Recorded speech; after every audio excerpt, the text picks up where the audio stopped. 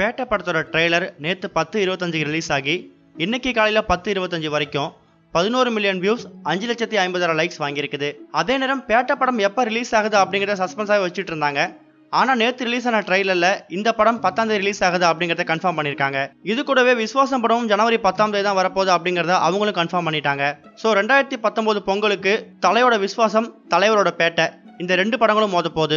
இந்த விஸ்வாச படம் ரிலீஸ் ஆகிறதுக்கு இன்னும் கிட்டத்தட்ட பத்து நாள் தான் இருக்கு. தலை ஃபேன்ஸ் எப்போ ட்ரைலர் விடுவீங்க எப்போ டீசர் விடுவீங்க அப்படிங்கிற மாதிரி பல கேள்வியில முன் வச்சுட்டு வந்தாங்க. அவங்களுக்கு படக்குழு கிட்ட இருந்து என்ன நியூஸ் வந்திருக்குன்னா ஜனவரி ஒன்றாம் தேதி படத்தோட டீசர் வெளியாகும் அப்படிங்கிற மாதிரி கிடைச்சிருக்கு. ஆனா இப்போ படக்குழு கிட்ட இருந்து இப்ப ரீசெண்டா ஒரு அப்டேட் கிடைச்சிருக்கு.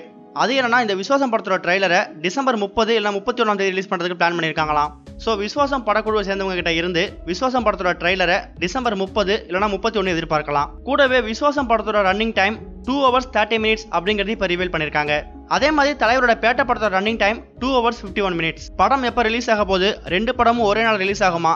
இது மாதிரி பல கேள்வியில் முன் வச்சிருந்த ரசிகர்களுக்கு ஜனவரி பத்தாம் தேதி ரெண்டு படமும் களமிறங்க போகுது அப்படிங்கிற இன்ஃபர்மேஷன் கொடுத்துருக்காங்க. இந்த ரெண்டு படத்தில் எந்த படத்துக்காக நீங்கள் அவ்வளோ காத்துக்கிட்டு இருக்கீங்க? ஃபர்ஸ்ட் டே ஃபர்ஸ்ட் ஷோ எந்த படத்துக்கு போக போறீங்க அப்படிங்கிற உங்களோட கருத்துக்களை கமெண்ட்ல போஸ்ட் பண்ணுங்க.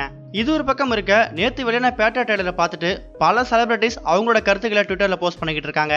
ஒரு இருபது வருஷத்துக்கு முன்னாடி நம்ம தலைவரை எப்படி பார்த்தோமோ அப்படி பார்க்குற மாதிரி இருக்கு அப்படிங்கிற மாதிரி பல கருத்துக்களை சொல்லி அந்த லிங்கை ஷேர் பண்ணியிருந்தாங்க. அந்த வகையில் சொல்வதெல்லாம் உண்மை புகழ் லட்சுமி ராமகிருஷ்ணன் இந்த பேட்டா ட்ரெயிலரை பற்றி ஒரு ட்வீட் போட்டிருக்காங்க. அதில் அவங்க என்ன சொல்லியிருக்காங்கன்னா just no watched Petta trailer looks real மரண mass.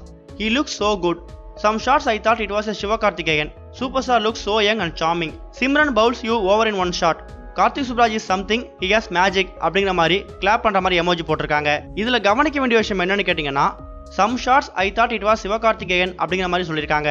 இதுக்கு என்ன மீனிங்னா ட்ரெய்லரில் ஒரு சில ஷாட்ல ரஜினி சாரை பார்க்கறதுக்கு சிவகார்த்திகேயனை பார்க்குற மாதிரியே இருக்கு அப்படிங்கிற மாதிரி அவங்க சொல்லியிருக்காங்க. அவங்க எதை நினைச்சு இப்படி சொன்னாங்கன்னு தெரியல ஆனால் உண்மையிலேயே சிவகார்த்திகேயன் சூப்பர் ஸ்டாரோட ஒரு மிகப்பெரிய ஃபேன் அப்படிங்கிறது நம்ம எல்லாருக்குமே தெரியும். ஆரம்ப காலத்தில் மிமிக்ரி ஆரம்பிக்கும் போது கூட சூப்பர் ஸ்டாரோட வாய்ஸை பேசி தான் ஃபேமஸ் ஆனாரு. ஏற்கனவே நம்ம லட்சுமி ராமகிருஷ்ணன் அவர்களுக்கும் சிவகார்த்திகேயனுக்கும் ஒரு முட்டல் மோதல் இருக்குது அப்படிங்கிற மாதிரி சொல்லப்பட்டிருக்கு. அந்த வகையில் இப்போ லட்சுமி ராமகிருஷ்ணன் இப்படி போட்ட ட்வீட் ஒரு மிகப்பெரிய கான்ட்ரவர்சியை கிரியேட் பண்ணியிருக்கு அப்படிங்கிற மாதிரி சொல்லப்பட்டிருக்கு.